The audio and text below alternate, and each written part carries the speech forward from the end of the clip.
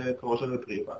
Empezamos con el Toroya, el Vida de la Vida, 2008, que lleva 50% de ganacha y 50 cariñena. Es el único cupaje tinto que hacemos. Son las cariñenas y ganachas viejas alrededor del pueblo de Toroya. Con este vino queremos enseñar la intensidad del pueblo. Un pueblo más bien frío, fresco, al norte de Priorat, con mucha licorella.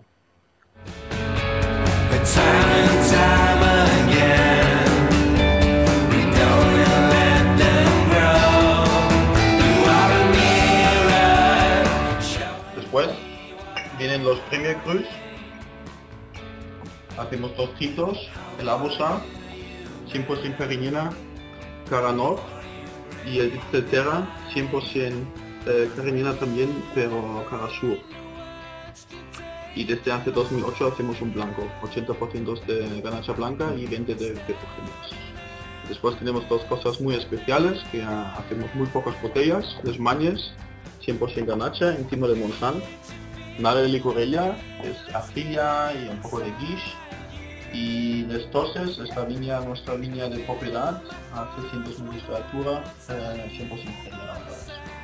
Aquí tenemos seis vinos, es como beberse un poco el paisaje de ¿no? Sus diferentes orientaciones, suelos, variedades, un cupaje, monovarietales, vinos de finca, un poco de todo. Es un sistema muy bueno.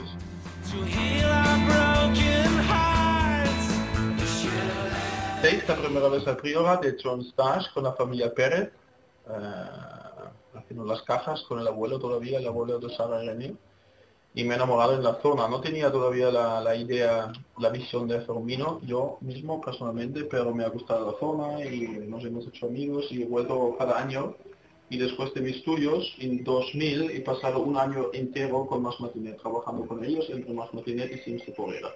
Y en el mismo año, por casualidad, ha venido mi, mi, eh, mi socio, de Sudáfrica, también al Río y también a Más Matinet. Y nos hemos pasado la vendimia 2000 en Sims de Porera juntos trabajando.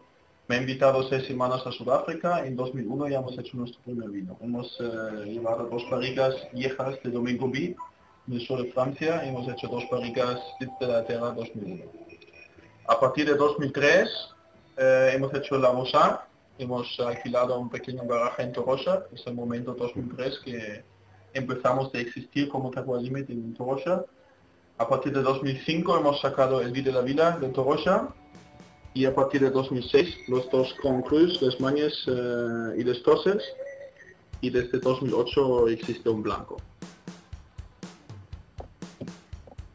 Se ha hecho vino, pero nunca se ha embotellado. Hay un chiste ahora mismo que decimos que los vinos de Toscana cada año son peores porque la gente de Sicilia está embotellando su vino.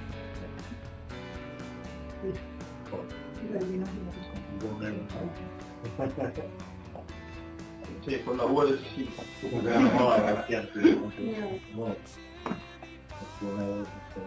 Este vino, nosotros siempre hablamos de femenino, masculino, es un poco difícil hoy en día porque es muy relativo, ¿no?